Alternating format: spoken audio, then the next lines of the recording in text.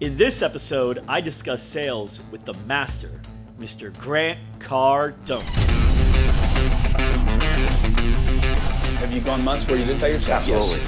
America was built on small business, and many are in trouble today. Look, I don't care when it comes to a politician or employee. I just want to know what are you going to do? Can you make change? Do you have hustle? Do you have good ideas? To me, age doesn't matter. It's like, what are you bringing to the table right here, right now? I need everybody to know me. I'm not trying to be the most popular person. Your job is not to get people to like you. Your job is to get people to buy from you. And if I got to move from here to there to get freedom, if I got to go over here to get a job, man, to take care of my family, I'm willing to do that. More is condemned by those that have given up on more. Okay, so if you had a financial goal of a million dollars, the 10x rule would say, no, no, no, no, we're going to go for 10 million, not 1 million. And if we come up short on 1 million or 10 million, which one you want to come up short on? Look, if you want to get rich, you want to be really successful, you must learn to dominate. Your job is not to get people to like you. Your job is to get people to buy from you. What does success mean to you? You should not be selling this product if you're not willing to say, let's do it anyway. Let's do it. Let's do this, man. If you own a gym or you need a gym, this is your guy. My name's Mike, and I help fitness studios that are ready to take action, work hard, and grow their studios. In this very saturated industry, there's tons of competition, but the opportunities are incredible. We'll cover the most common challenges in the fitness world and invite guests in the show that have learned to overcome them and share their strategies with you. This is the GSD Show. This podcast is sponsored by Causely. Causely helps fitness businesses get new members while giving back. We've partnered with Causely to give back to kids in need with this podcast, and here's how you can get involved. Each time you review this podcast on iTunes or share the episode post on Facebook, a meal will be provided to a child in need. It's that easy. Everyday actions can make a difference.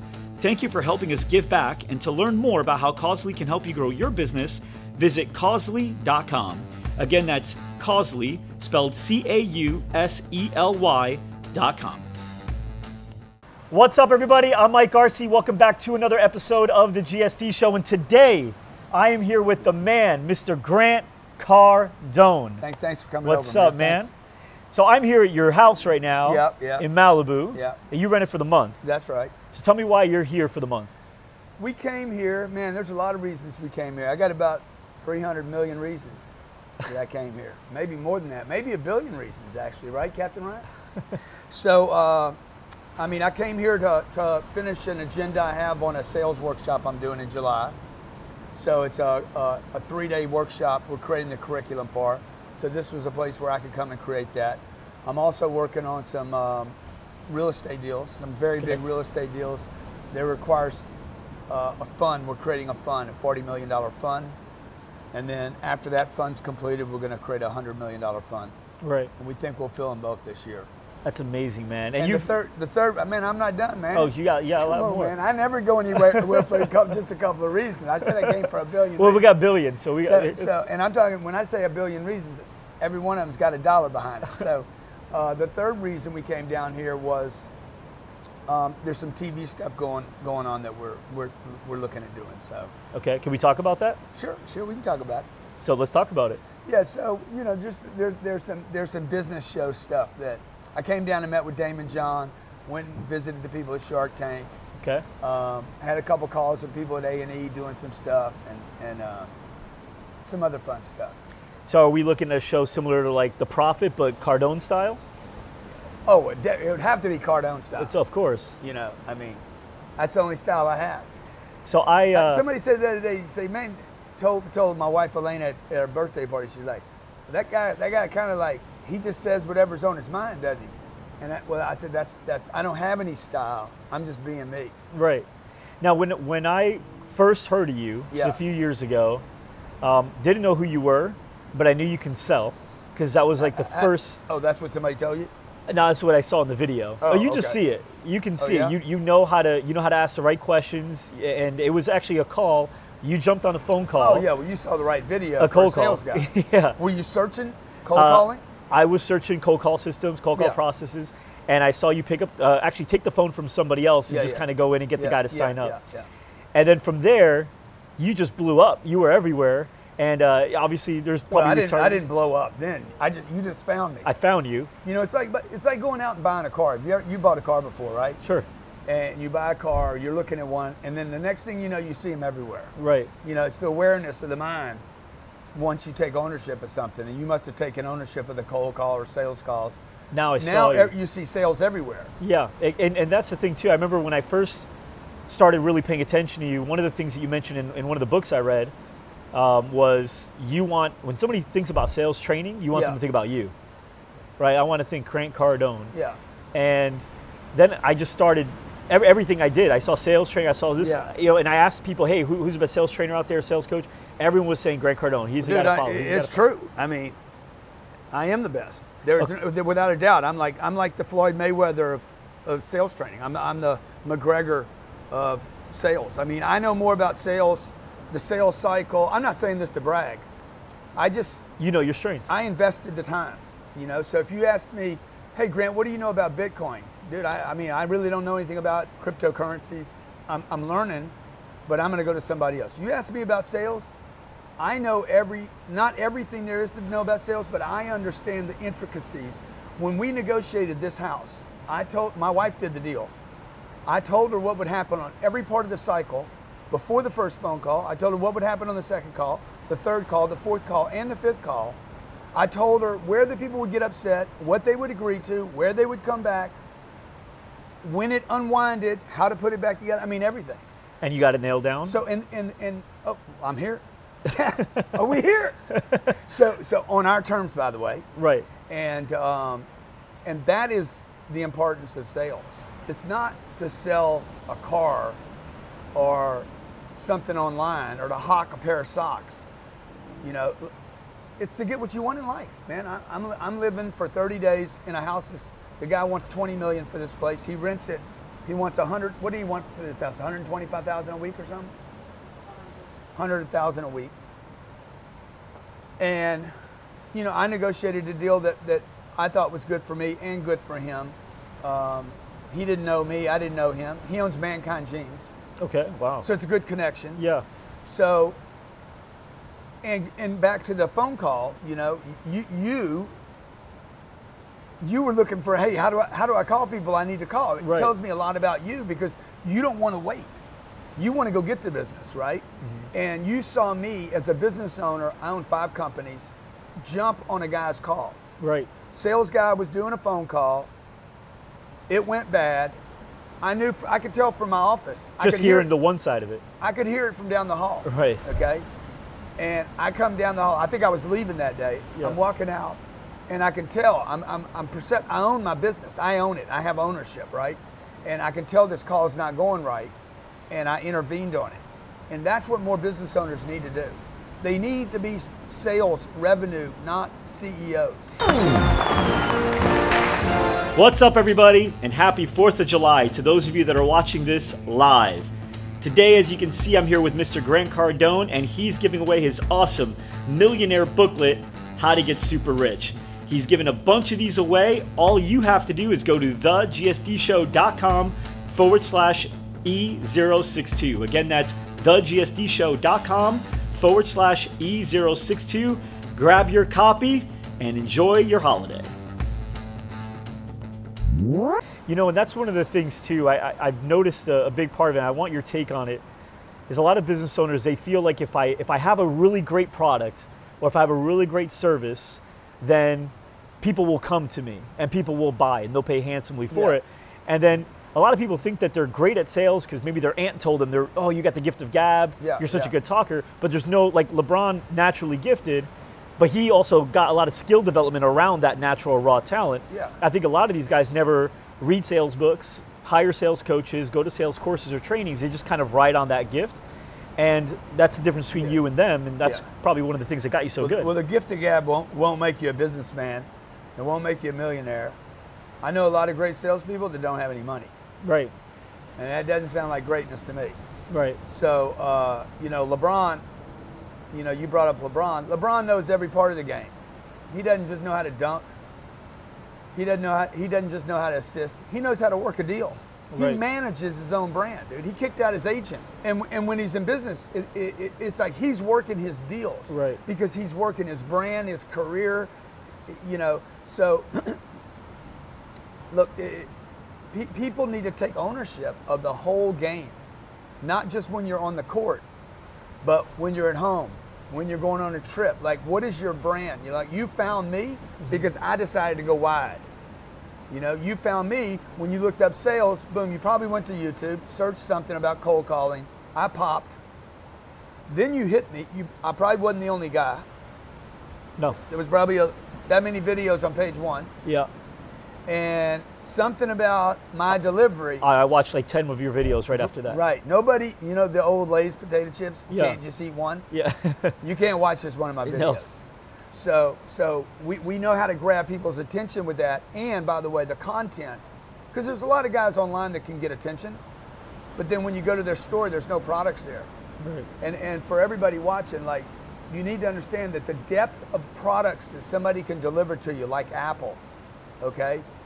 Apple's a great company because it delivers lots of products, okay? It, it saturates a client. Man, I can't believe. Can you get? Can you even hear It's me beautiful. over this ocean? Oh, yeah, we can hear you. dude, it is banging so hard. It sounds great. Is that good? Oh, yeah. That's that's a hundred grand, man, right there. I think they give this place away at a hundred grand a week, frankly. So um, you got to have a depth of products to be able to help a customer because you might have come and looked at what we're doing with real estate rather than cold calling. I want you to find me at a lot of different front Mm-hmm. doors. Yeah, and it, I, I knew you weren't selling what I was selling, Yeah. but you were you were you were asking questions that, regardless of what you're selling, you were finding out why the person wanted why, why they were on the phone call in the first place. Right, I think right. that was one of the questions. Right. Like, look, you call for a reason. Why are we, why are we on the call? Yeah, or you took my call for a reason. You took my call for a reason, right? Yeah. And I think a lot of people get away from that. They Yeah, start yeah. Answering questions that are irrelevant to the main reason they're here. right, right. Because a lot of people just ask questions, customers, potential customers, just ask questions just to kind of feel like they're getting information because they don't want to be sold. yeah, yeah.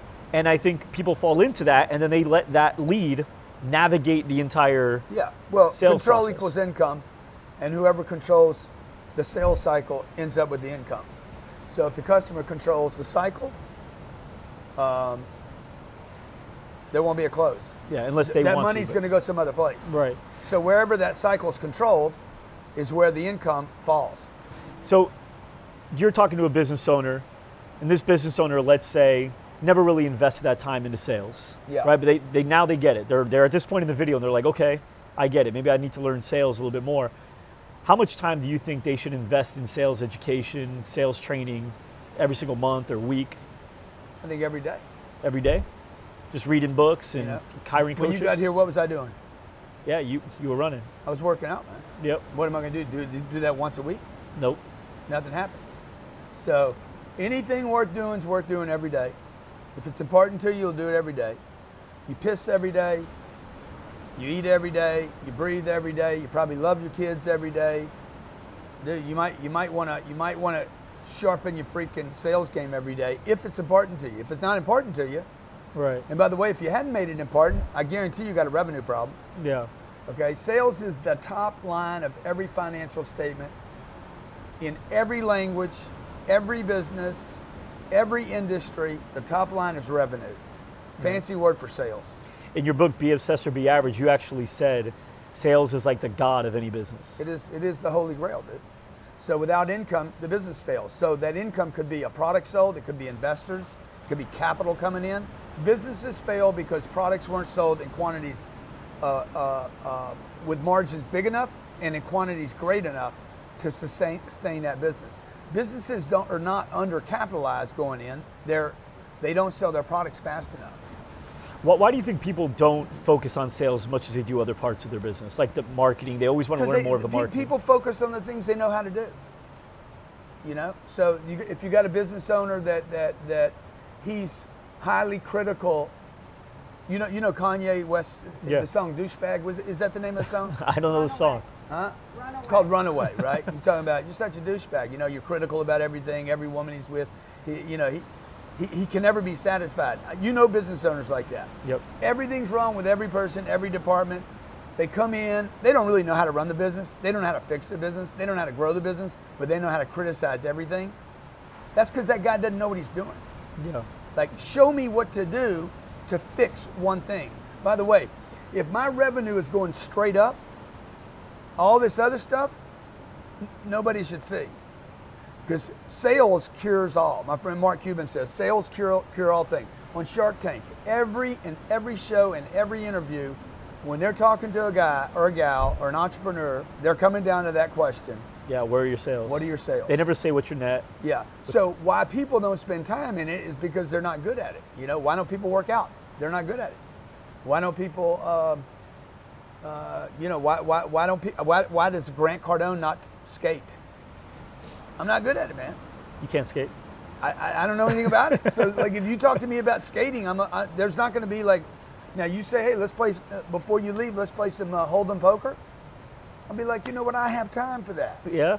We, we might be able to squeeze 10 minutes in, right, Max? I might play a little bit. Okay.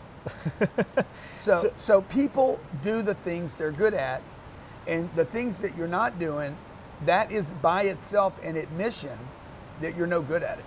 And this is choice because, Totally. I was no good at sales. Uh, the first, and you didn't like it.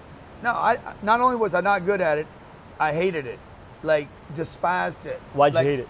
Because I was no good at it. Is it? They're, they're wrapped up together, man. Anything you're good at, you'll like.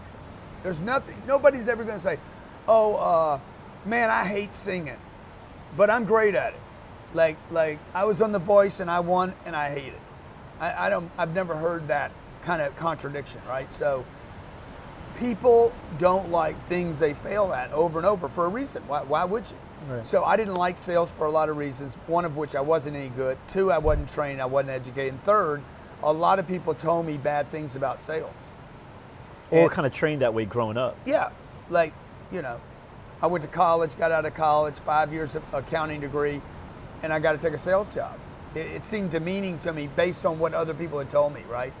So, um, but when I made a commitment to it and started learning it, how to ask a question, how to ask hard questions, how to control a sale, how to use transparency to, great, to gain authenticity, uh, how, how to fi- how to start studying personality types, you know, and how to how to figure out uh, what product somebody really needed, what what what problem they were really trying to solve. Uh, once I understood that I wasn't a guy that liked tricks or manipulation, and that I could use authenticity and straight talk with a guy or a gal, when I could tell somebody, look, you can't afford this product, let me show you one you can. Right. You know, when I could use that and, and learn how to use, sell in volumes, like a lot, big volumes, because I get the action and the activity, I, I fell in love with sales. How, how did that switch go from you not liking it or being good at it to saying, I'm committing to this? What was the thing that made you Well- say, did somebody tell you you need to get great at sales? Dude, or dude, I had a guy, every day I've been here, I've had like three to five coaching sessions where people come here and they bring some situation.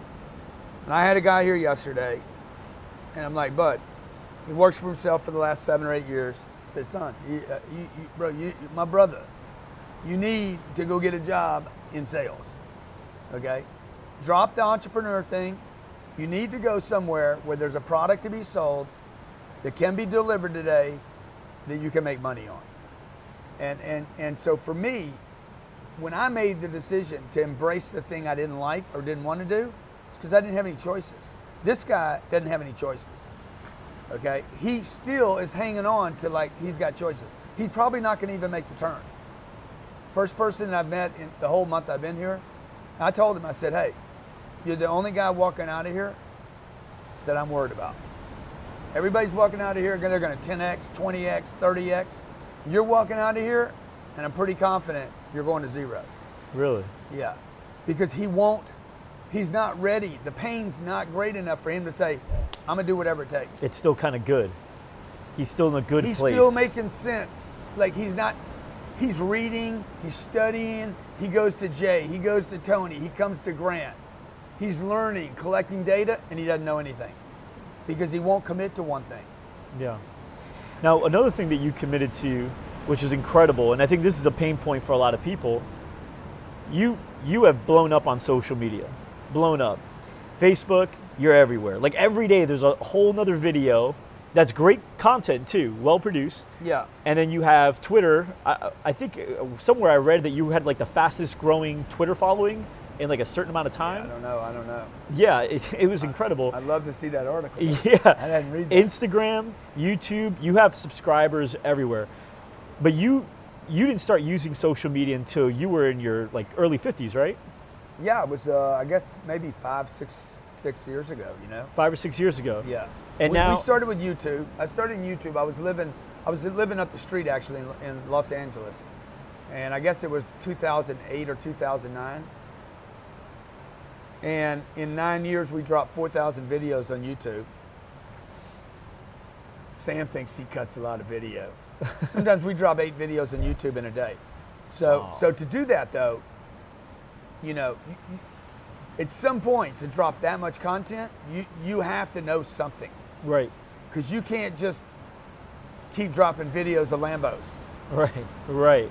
I mean, you, at some point, it's like, you know. So what we did, the way to do that, okay, and this goes back to an inventory problem for most business owners, whether you own a gym or you have a franchise. Look at Subway, man. Subway's got a lot of product, a lot of choices in that product lineup. I went in, went and ate a towel last night. Lots of product in that lineup. Everything from martinis to uh, desserts. Big product lineup that they can move. Starbucks, you brought me a Starbucks over there. Big lineup of products, Right. right? Most entrepreneurs, business owners, franchises, if you're going to be successful, you have to have a big product lineup. So what I did, YouTube basically helped me start figuring out in 2009 what can I talk about to go omnipresent. So what's omnipresent? Omnipresence is the concept. Eh, omnipresence is associated with gods. Okay, a God, God is omnipresent. Right. No, no matter what God you believe in. Okay, so all religions would believe God is everywhere. It's in every biblical reference, from the Christians to the Muslims to you name them. right. God is everywhere. Omnipresence is the concept of everywhere. Right. Every anything assigned the concept. Oh, what's up, bruh? What's up, my little man? Hey, that'd be fifty bucks. That'd be 50, fifty, bucks to stay there for 5 minutes? Okay, that'd be 50 bucks. Okay, my man. So, uh, Omnipresent. omnipresence is the concept of being everywhere. Okay, anything that is assigned or associated with omnipresence is all powerful. So, so uh, I study a lot of stuff, right? So I'm interested in knowing, not learning. And so when I look a word up, I didn't know what that word meant. I looked at the word up and I started looking up, man, God references everywhere, concepts of power. You know, I go back and look at what it meant 700 years ago. I'm, I'm like, I'm interested in this, man. What's this? So I'm like, how do I become omnipresent?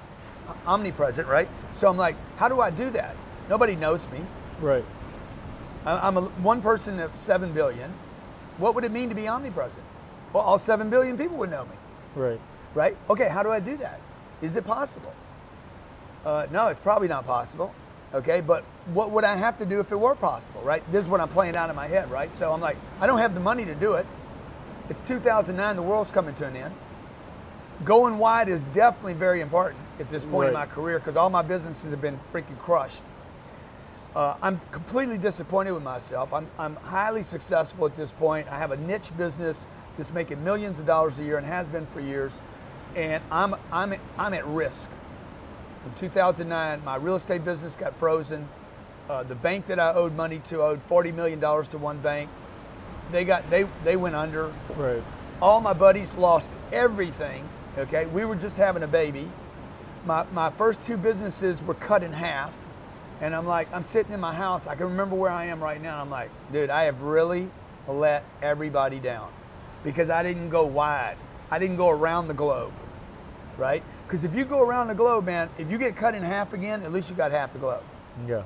So, to make a long story about the omnipresence, but it's really important, right? So, I started looking for channels that wouldn't cost me anything, distribution lines that wouldn't cost me anything. Oh, YouTube.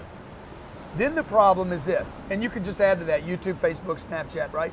But what what what are you going to lay on that line, right? What what am I going to lay? So I basically took uh, a whiteboard. This I did this by myself. Put my picture in the middle, and said, "What can I talk about?" Because the one thing I will not do is I will not talk about something I don't know. I'm just going to tell you, I don't know. But if I know about something, no, then I'm going to know, like, I'm a billionaire in the making. I, I know how to make people millionaires, even hectomillionaires. I don't know how to make somebody a billionaire. so, but but when I score it, I'll be I'll be journaling along the way what I did that worked and what didn't. And when I become a billionaire, I'll be able to tell people, dude, this is the track. Right. So I started put, putting together a list of things that I could do well sales, find the right chick.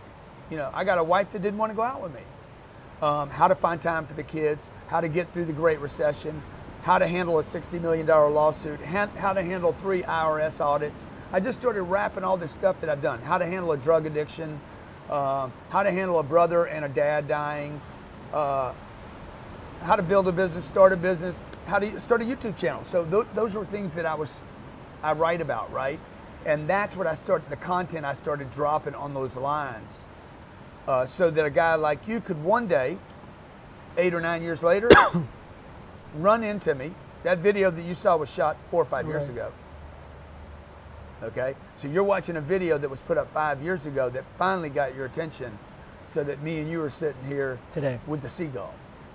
Our friend. The freeloader, dude. The freeloader. He's that was now. a freaking government, government sponsored seagull. He's right gone. there. Once he found out what the rent was, he took off. he freaking took his four and left. Hey, real quick, Sam, can you just pass me my drink right there? The air change is definitely getting me. Here we go. Thank you. Life, life was definitely much different for you at the age of 20, 30, Yeah. 40. I mean, every decade had different layers yeah, to it. yeah.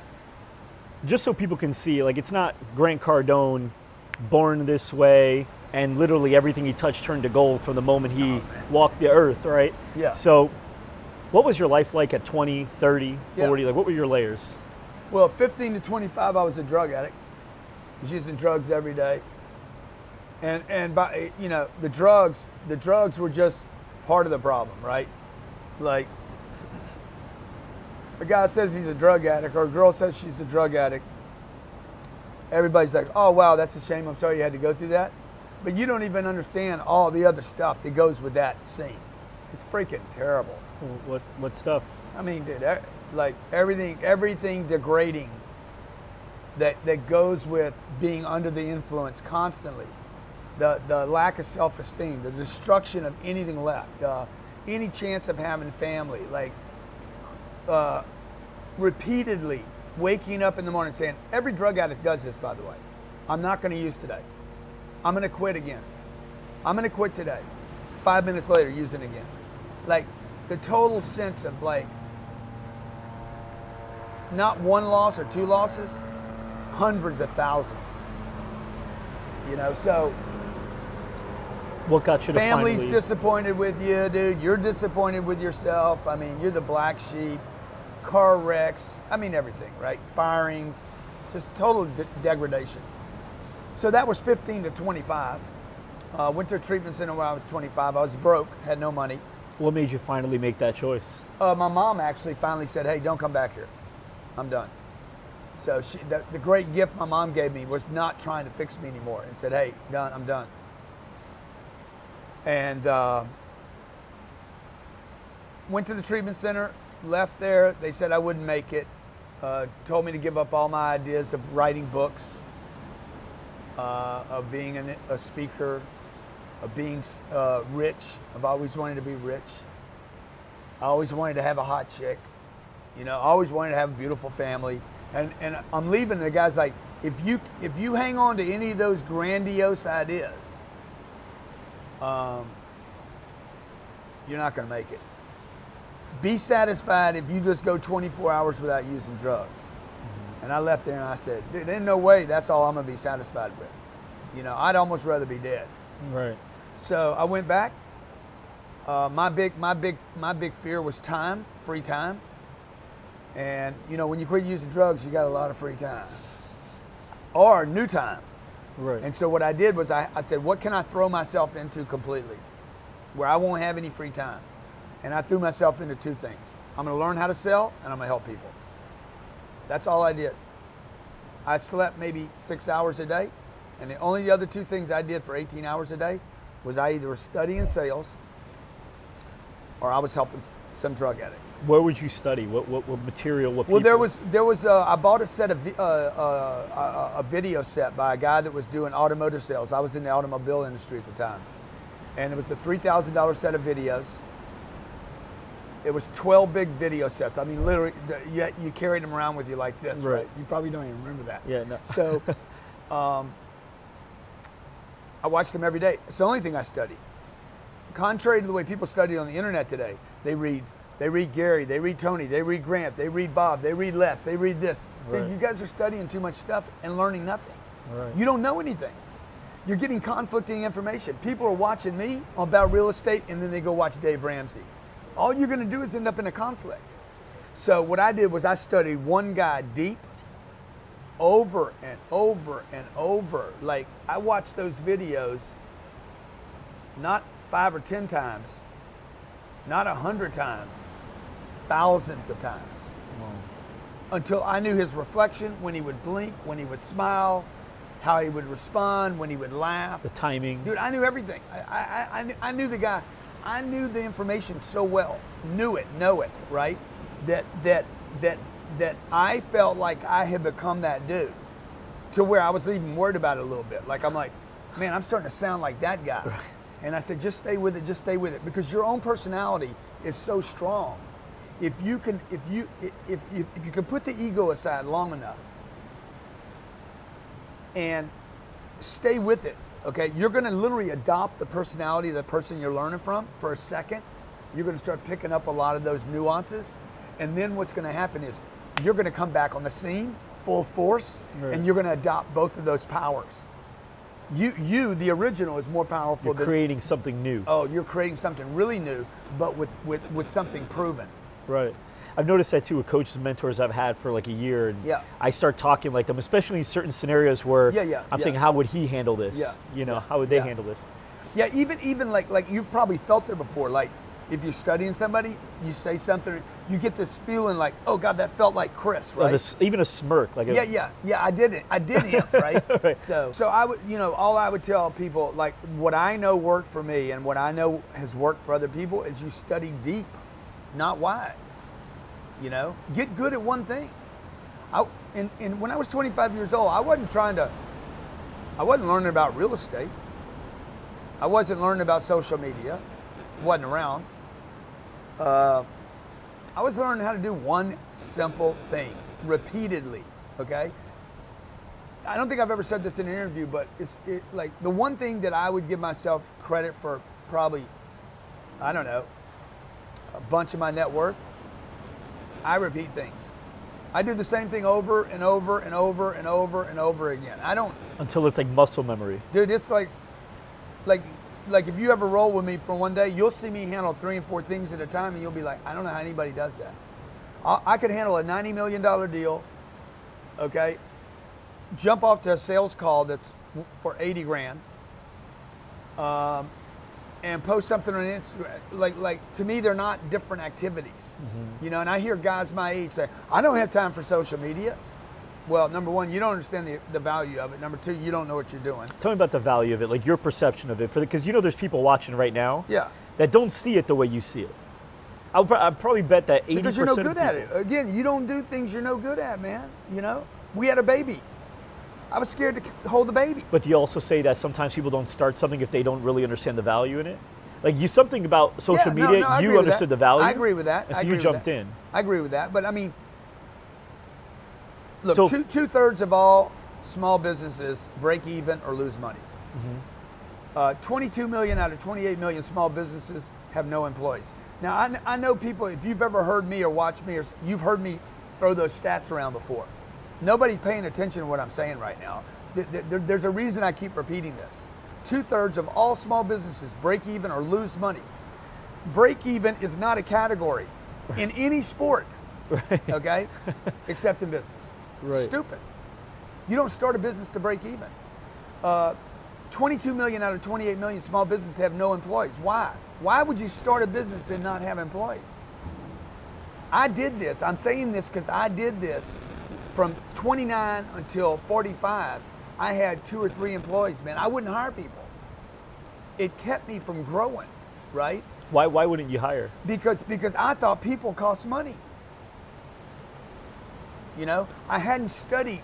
So what happened was my, my sales. I learned how to sell stuff, and then I then I got a deal uh, uh, at the age of 29 to 32. Um, I started promoting this new way of selling things. I had this idea that I could teach people in the auto industry how to sell things in a different way, shorter, not eight hours. Condense it down to 30 or 40 minutes. Do it quick. I was way ahead of my time. So how, how, to, how to start using information, how to be how to be authentic and transparent in a car deal, not go back and forth to the manager. And I had this idea. I'm saying I'm, I'm going to change the car industry. took me three years to get any kind of traction. I went from making 100 grand selling cars to like 30 grand. Almost ran out of money. And when I finally figured out how to do it, uh, how, to, how to scale it, okay, I quit scaling because I was a sales guy. I hadn't become a businessman Right. and I was terrified, dude. I was still thinking like a sales guy. A sales guy thinks like this: uh, January was good, February was good, March was good. Is April good? Man, I sure hope April. I mean, every sales guy or gal has a God, sales God. At the end of the month, they're like, God, please, God. They don't even believe in God. Please, God, make sure I have a good month. Give me a lot of leads, right? Whatever.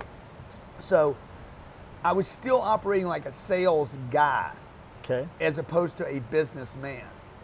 And businesses must spend money on advertising. You have to spend money. All big businesses, study the big ones. They just throw money at advertising and marketing. Fast forward to today and to, and to integrate your question, man, social media is free. Dude, it is the dream. It is the it is the the, the like like And the paid advertising's cheap. well let, let's just start with the free marketing. Right. Okay. You show me free. How about this? Forget the free for a second and add this. Almost zero regulations. It's like the Wild West. I mean, I can say anything I want, literally almost do anything I want. Well, because people that Do don't have as often as experience advertising Yeah. in the traditional sense, Yeah. they don't even realize that there were a lot of things you couldn't do where you had to add little things or subtitles or at the end of TV commercials you have to say Yeah. certain things. They don't realize that because they're they're so unexposed to it. But for guys like you that understand that, you see the internet as like a wild west where you can, yeah, like well, you said, well, I see the internet as a connection to the entire planet. right, as a opposed as opposed to a market. You know, like a franchise guy in Tucson's like, I'm only only going to focus on Tucson as a market. I'm like, no, man, that's a mistake, man, dude. You you want to make sure somebody sees your ad in Tokyo, mm-hmm. because somebody in Tokyo today knows somebody in Tucson. You know, so so I I don't I want the, I, I want the vibration. I want the I, I don't know where you're going to come from. You know, I, I I don't know where you're looking at YouTube. right. You could be on a plane, on a Delta Airlines flight. I was actually in New York when I saw your video. Yeah, you, and you, li- you live in Arizona, right? So, Yeah. so I don't know where you're going to be. Location is no longer a, a location. Right. So, so look, if you have great content, a great idea, or great product, you, you are obligated. I believe that I'm obligated to go omnipresent so the world can pick me rather than some of these criminals or, Right. or, or, or terrible products that are being offered to people. I mean, this year, uh, in October, November, we used social media to raise $15 million uh, for my real estate transactions. We opened two funds. I've never done a fund before. I didn't tell anybody. We raised $15 million in 60 days. Both funds were oversubscribed, and they were subscribed. Uh, the the investments were eight times larger than the average fund that's ever opened in the United States. Now we're going to do a fund. We're opening a fund this week. It's 40 million. I think I'm going to fill it in 40 days. Okay, I haven't opened it yet, and I've already filled 26 million of the 40 million. Simply going on Facebook saying, "I'm opening a fund." Right. Okay, there's been no ad. I haven't run an ad yet. So Because you really built that following. You understand how to deliver content. It's a microphone. One, I haven't ripped anybody off in 30 years. My reputation is like, you might not like me, but nobody says I've ripped him off. People will say I don't like him. He's arrogant. He's cocky. Uh, whatever, right? Yeah, yeah, I mean that's just part of the game. Right. So, so they don't like my delivery. I'm too aggressive. I'm too pushy. I market too much. I've whatever. actually people that I that I know know you, Cole Hatter, Yeah, and, yeah. And, and I saw Mark, Cole last night. Yeah, I just interviewed Cole last week. Yeah. And um, you know, they they all say the exact opposite of everything you just said. Totally genuine guy, Yeah, yeah. honest guy, always working on doing the right thing. Yeah, you know, and even uh, this guy right here, as as we were talking before you came back down. Um, He's like, yeah, everything you see on on the internet and TV. I mean, that's his personality, but Yeah. he really like that's how he is. But he cares about people, and he, Yeah, you yeah, know, yeah, yeah. and so kudos to you right there. I mean, I do care about people, but you know, and I'll punch you in the face too. So like, I, you know, any, I'll protect her. So I don't let I don't have people push me around. I, I, Daymond John was here this weekend, and they were saying some stuff. I said, "You guys," and I just just freaking dropped on them, right? And and Daymond looked at me and says, "Dude, you're like." You're like Donald Trump without all the baggage, you know. And, and so I I like like I'm at a place in my life where I have figured out how to be me, which is such an unbelievable like if I could wish anything for anybody, it'd be like, man, be yourself. Like like figure out how to be yourself, not have to please the whole world so you can at least please you, and be successful doing it. That is like it's a trifecta. So I'm going to give you a total hypothetical situation because this can't really be done Yeah, that we yeah. think of in, in Yeah. real life. If you were to have to transport out of your body into another body that's not doesn't look like you, totally different name. Yeah, yeah, So you can't use anything that you've built in the last five years. You Yeah, have to start from scratch. Yeah, sure, sure. Nobody recognizes you. All your contacts, your I want to do I want to do this TV show right here. yeah, is this this, is a the TV show? show. Is this the show? This is a show. Drop me off anywhere. I can't use my name. Right. Can't use your name. I can't say I wrote a book. Okay. Dude, you're talking about how I started my first business. Yeah. So I was how- 29 what- years what old. Nobody knew me. I wouldn't use social media. Okay. I would not use social media. Not right away. No, no. I'd go knock on somebody's door. I would go back to my mantra. You, know, what some- my mantra is? What's that? Who's got my money? I'd be like, who's got my money? Look, I've been doing this since I was 20, 22 years old. I don't have any money. I need some money, man. It's just a basic, simple caveman, like, who's got my money? See, I see, I, I, a, a retired baseball player. I'm not going to give you his name, but he says, "Man, when I heard you say that, it literally 20x my business." Because what you said was, I was complicating it. I got to do this meeting. I got to organize. Who's got your money, man? So I make a list. What I would do today is, if I was transported to this other body, am I a man or a woman? You could be a man. Okay, thank God. so, so, man, I just wouldn't want to be a woman. It's just unfair. It's unfair. So, uh, black man, white man, Hispanic, Uh, let's Asian? say let's say white man, uh, and let's say you prejudiced? huh? Well, I'm just I'm keeping it. I'm keeping it similar to you. I'm keeping it. I'm, I'm basically keeping it. All right, no, how no, about no. this? No, no, I'm a black. I'm black, 15 years old, no dad, inner city Baltimore, uh, and I hate school. Okay, Who's got my money? Okay. I'd work. I'd work street corners. okay. I'd probably go beg. I'd probably go panhandle. I'd get my money right, man. I wouldn't be in ideas. I wouldn't. I wouldn't have ideas about business. I would get money. Period. I could do it with a squeegee. I'd go steal somebody's squeegee. I'd steal a squeegee from my neighbor. Get a little bucket. Help a brother out. Okay, and and and and I'd probably put on one side of it, don't use the N word, which stands for no.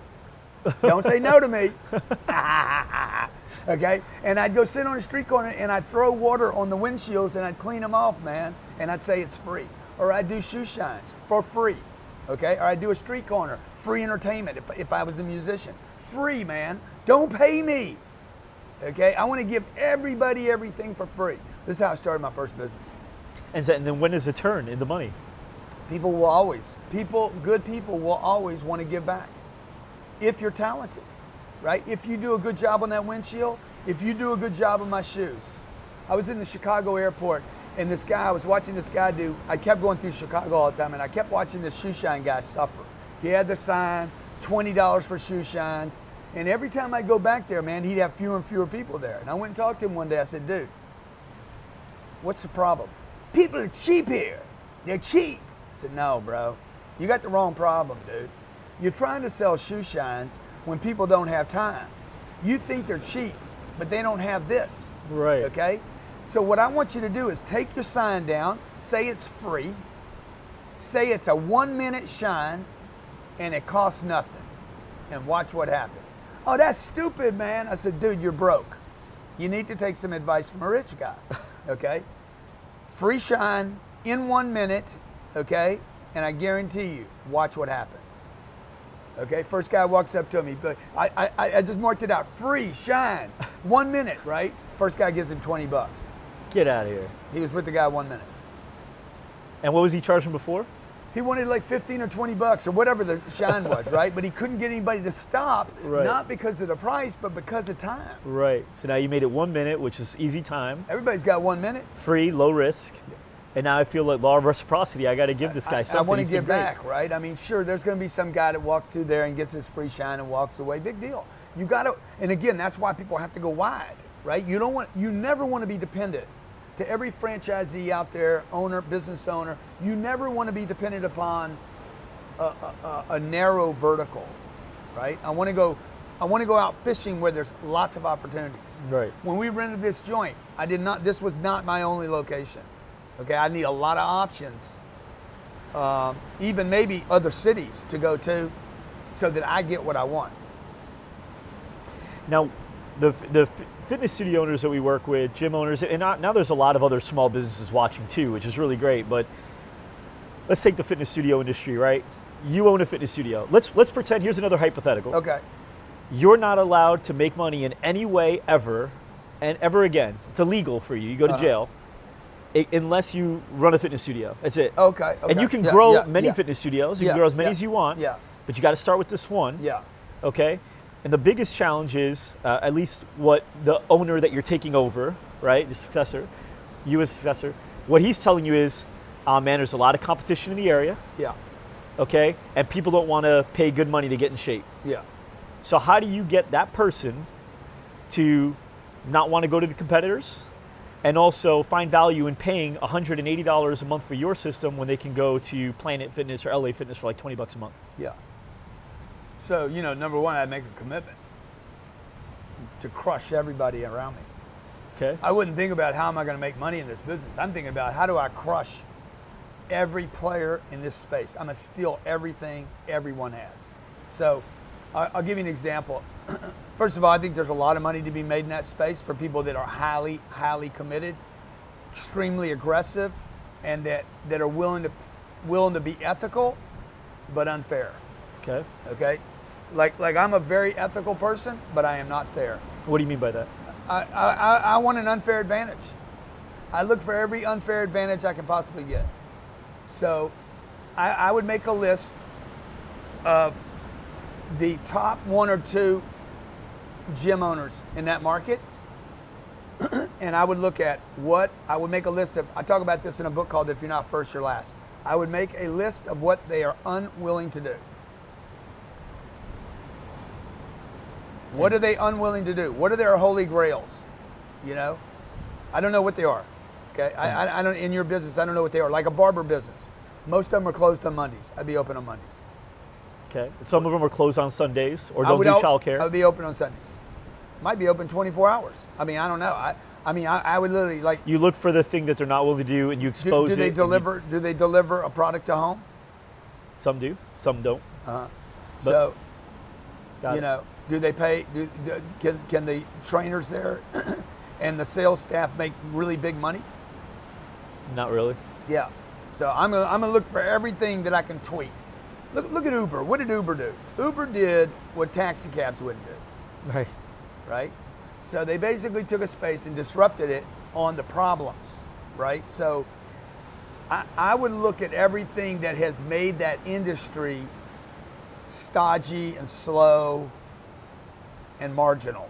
Yeah, that's what Elon Musk does really well. One Yeah, of the things yeah. that he's, you know, one of the things that people say about Tesla is, well, what if you have to go cross country? That's very inconvenient. You have to stop. So now instead of saying, all right, well, yeah, having a gas car might be better, how can we make the Tesla a better option?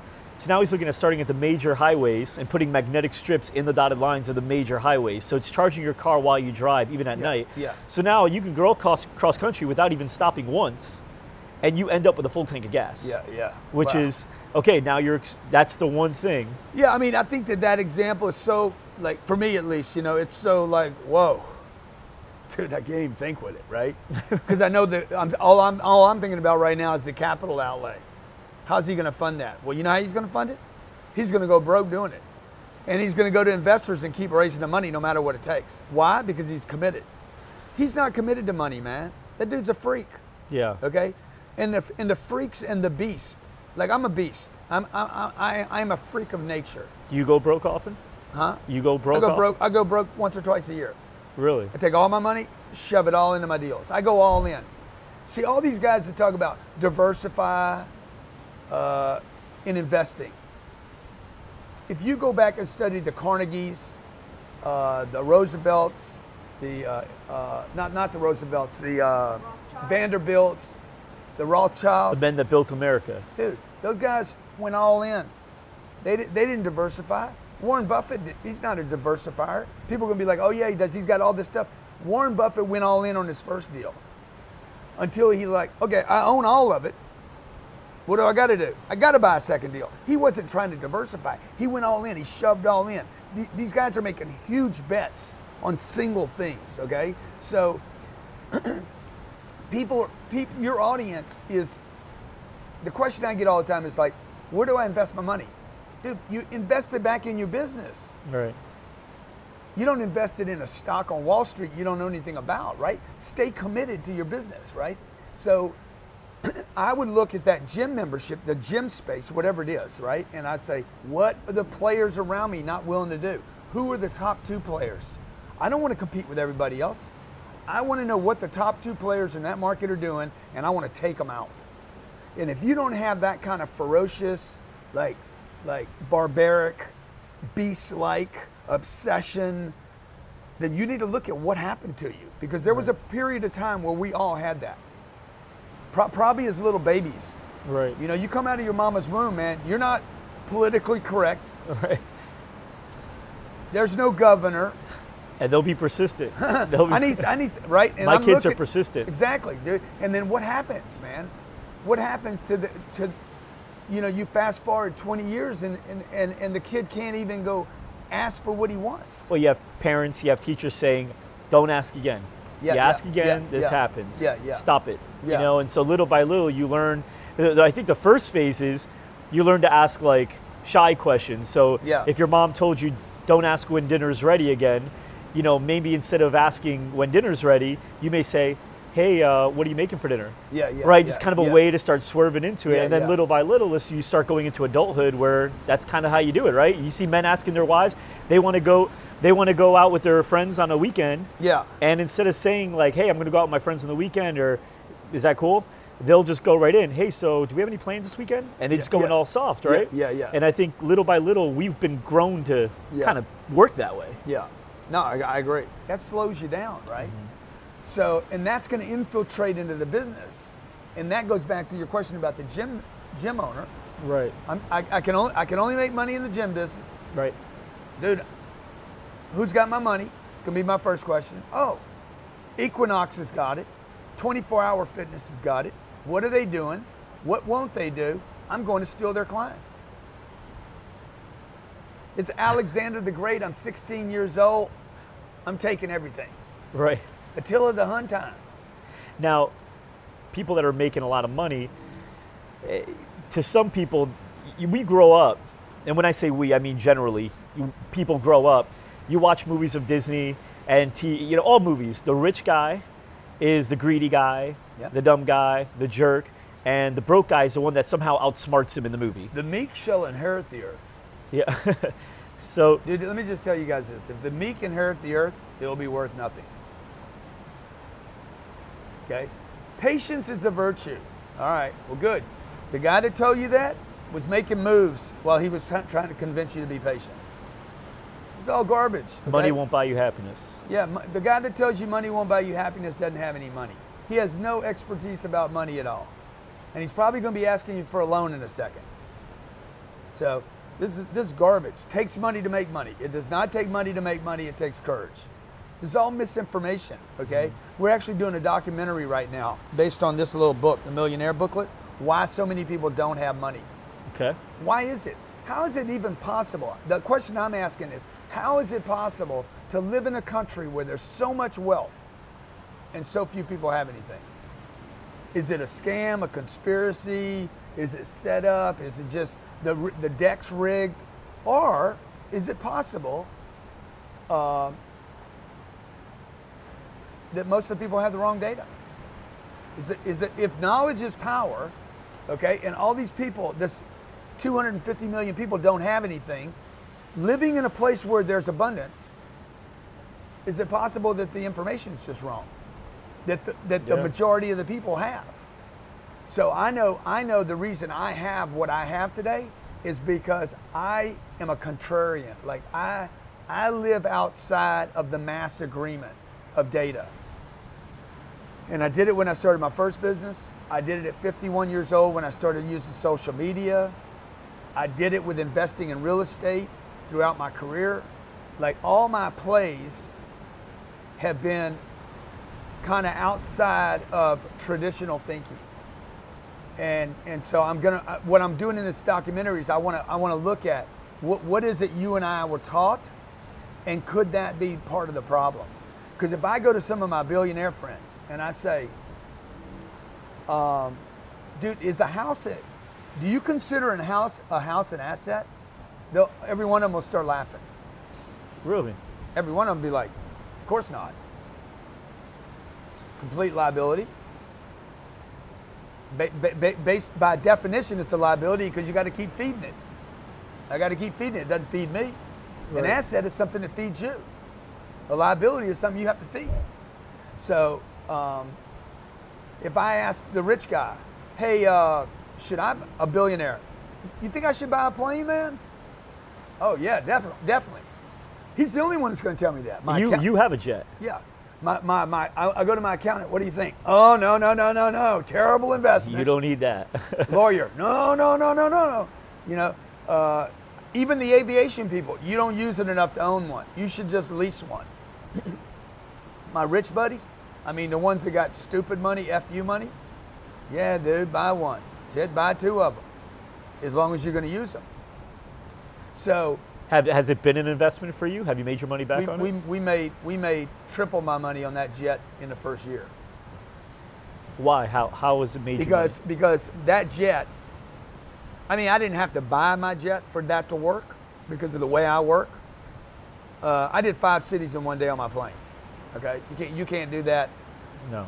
if you have ambassador status with american airlines Right. a- and, they roll a red carpet out for you you're lucky if you make two cities Right. i did five cities seven meetings in one day time is money attention money follows attention uh, I mean, the ultimate reason why we bought the jet was I wanted to walk on it and note my stuff's there, my property's there, my my weapons are on board, And you get a lot more done in a short amount of time. and I can I can I can buy time. I can I can I, I don't need to manage time anymore. I can create it. Right? I was supposed to be here till the seventh. I got to deal with DJ Khaled on a ship. We're flying out tomorrow, so I can be with him and Lil Wayne and pretty cool. Future. Wow, that's cool. and, and and so we can change our calendar. I can go be with DJ and and those boys, and I can expand my my my uh, you know my, my my footprint, right? My omnipresence, my awareness. Right. Uh, uh, Daymond John's in Miami, my jet sitting at the freaking hangar. Uh, I don't know Daymond. I know he missed a flight. Uh, I know I know I'm, I'm I'm I'm watching things right. I call up his agent. Hey, tell him I'll, I'll bring him to Vegas. I know he missed his flight. Wow. He hops on with me. Next thing you know, we're doing business together. Right.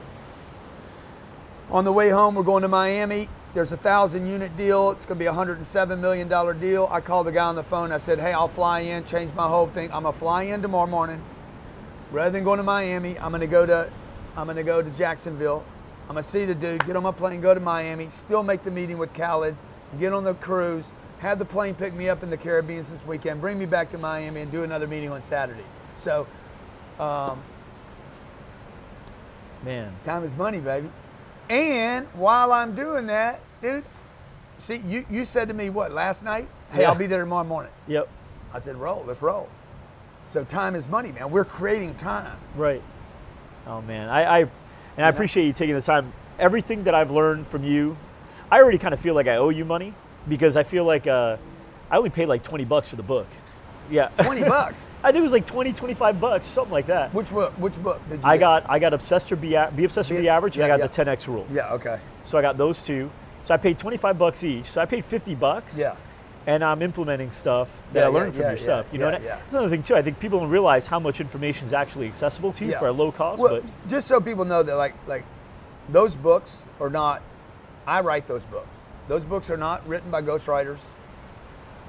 Um, I don't think anybody could write my books for me. I understand why people use ghostwriters. The, I write those books to solve my problems. So, I, I, you know, I think that people really, like, I have a, the people that like me, dude, they'll they'll they'll freaking die for me. And it, I don't think they're, me and my wife talk about it all the time. I don't think they're fans of mine. I think they're fans of my information. They, they, they had an experience with my information helping them. So this book, this is the book I should have written first. so let's we're gonna close out. Yeah, yeah. Talk to me about this right here and what value people are gonna be able to get out of that Th- book. th- This book's about money. It's going to show you seven steps that you can take that will literally change the way you look at money for the rest of your life. Okay. okay? It's going to talk to you about when to save and when to invest, okay? And, and it's going to blow your mind when you see it. It's going to show you how to create multiple flows of income and how to never abandon the first one. Okay. And it's 42 pages long. You can read it in 18 minutes. I'll give it to everybody that's watching the show today. Okay. So go to millionairebooklet.com. I'll give you the book. Okay. And all I ask you to do is if you love it, buy one from me in the future and give it to somebody else. Okay. So we're, we're, we're on track to give a million of these away this year. I'm definitely excited to keep following and, and Dude. reading the book myself. Brother, You've been great. come on, man. Not just now, but in all the stuff I've read from you, you helped me in my business a lot, and I'm excited that I now have the opportunity to share it with my audience. And So, GSD, if you're a kid like my little five year old, what do we tell her it's standing for? GSD. get stuff done. My kids know it's get stuff done. Okay. But you guys know what it stands for, and uh, this guy lives it to the T. Yeah. And I'm so glad I got a chance to hang out with you. And Dude, and I appreciate you coming in, man. So, Great job. Thanks again, man. Okay, thank Take you. care. Okay. Awesome. Awesome job, guys. Great job. Okay. What's up, guys? Yeah, that was great, dude. Ah.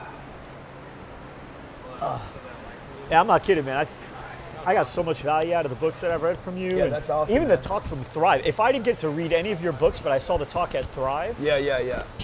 Dude, that was an awesome pitch. Yeah. You, walked away from Thrive and said, oh, that was good. oh my God, yeah, it was. That was good. Your perspective on stuff, man, it's inspiring. Thanks so much for joining us today. If you like this episode, then subscribe to our podcast on iTunes, Google Play, or Stitcher, and to our YouTube channel to never miss an episode. You can get all the links by going to thegsdshow.com. Thanks, and see you next time.